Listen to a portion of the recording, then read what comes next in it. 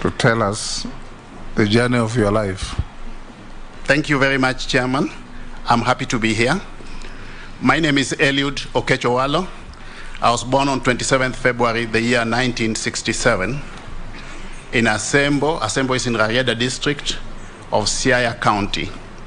I went to the local Oboch Primary School before proceeding to Maseno National School for my O levels, and then subsequently to St. Mary's School Yala for my A levels.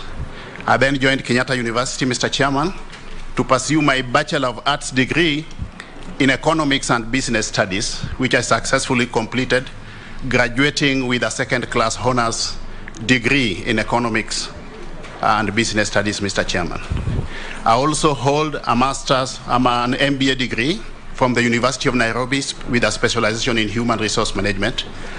As we speak, I'm at the tail end of my PhD program at the University of Nairobi pursuing a PhD in strategic management. I'm done with the coursework. I'm now progressing to the level of the thesis, Mr. Chairman.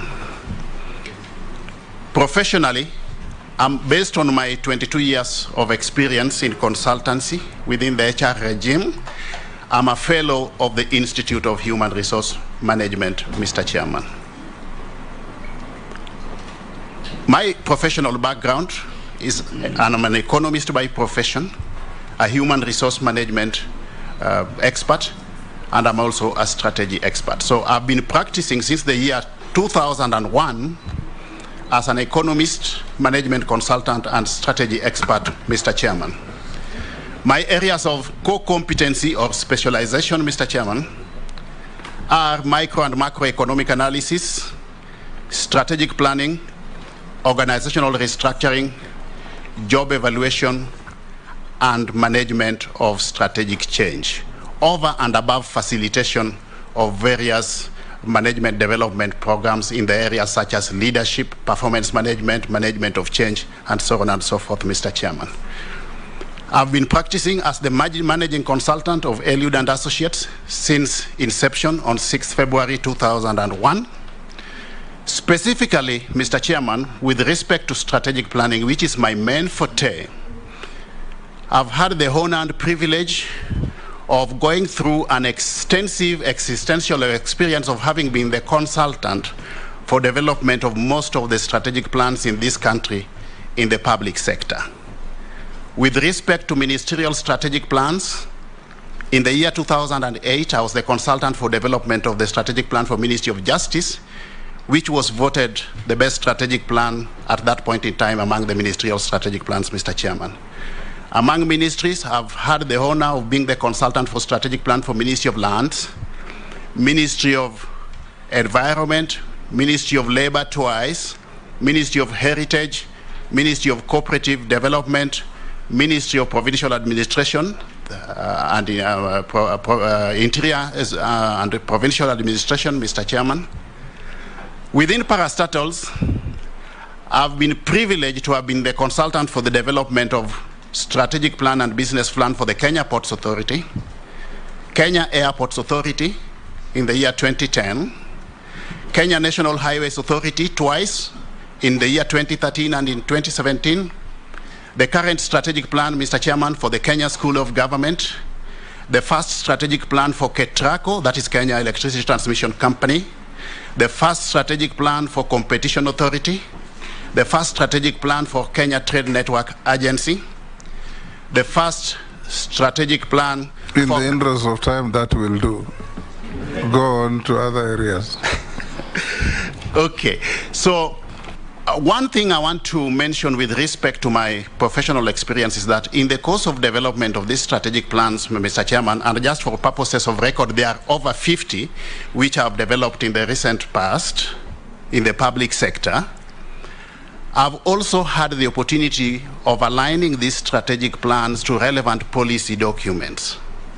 Because organizations don't operate in a vacuum, Mr. Chairman, but do so within a framework of macro level and even regional and international level policy framework, I've had the existential experience of developing and aligning these strategic plans, not just locally to the Kenya Vision 2030 and its successive medium-term plans, but also regionally to the East Africa Community Vision 2050, the Africa Union's Agenda 2063 and globally to the United Nations Sustainable Development Goals. So, from a policy perspective, Mr. Chairman, based on the mandate that I'm expected to execute, if this committee certifies my nomination, and of course, by extension, the full House of Parliament, um, I stand in good stead from a policy perspective to execute that mandate, Mr. Chairman. I also want to mention that specifically with respect to strategic planning, I've had the honor and privilege of having been the consultant for development of the strategic plan for competition authority of Kenya, Mr. Chairman. Why am I mentioning this? I'm mentioning this because I'm expected to execute a, a, a CS mandate in an industry which has got few players. This industry, Mr. Chairman, needs to be guided by prudent competition laws, and in this respect, the wealth of experience I gained while developing the strategic plan for the competition authority will stand me in good stead as I provide leadership in an industry which is largely characterized by monopolistic, duopolistic, oligopolistic, and perhaps monopolistic tendencies, Mr. Chairman. I'm talking about an industry, Mr. Chairman, with few players, either one, two, three, or with few players but differentiated products. That's what I've said in short. Also, Mr. Chairman, I've been the consultant for development of strategic plan for Kentrade, and this prepares me adequately to discern how to use e-commerce in the conduct of business, which is also integral in the ICT sector. That has prepared me adequately.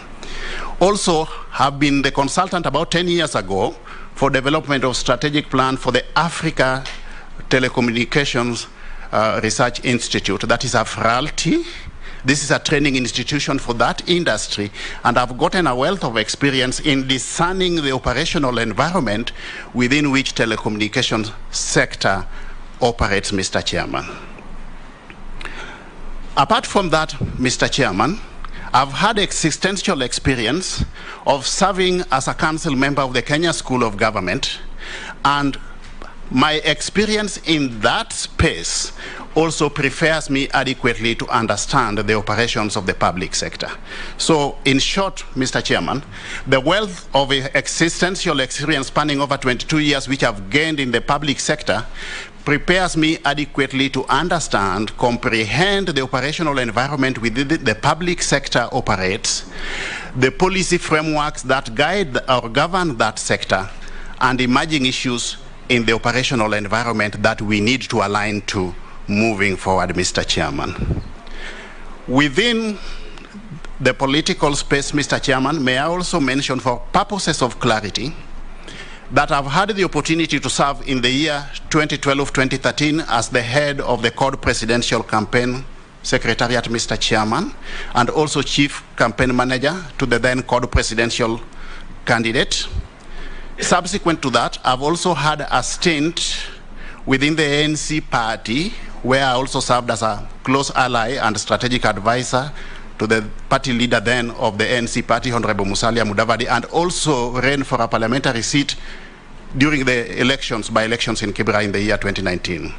Subsequent to that, Mr. Chairman, I've been part and parcel of the Kenya Kwanza presidential campaign, being a member of the Presidential Campaign Steering Council, being a member of the Economic Advisory Team, which came up with the bottom-up model and also developed the plan, the economic, uh, uh, the, the, the, campaign manifesto, popularly known as the plan, and subsequently also developed the 48 economic uh, charters on the basis of which we made commitments to the people by way of what we are going to do in, with respect to service delivery once the, we come into government.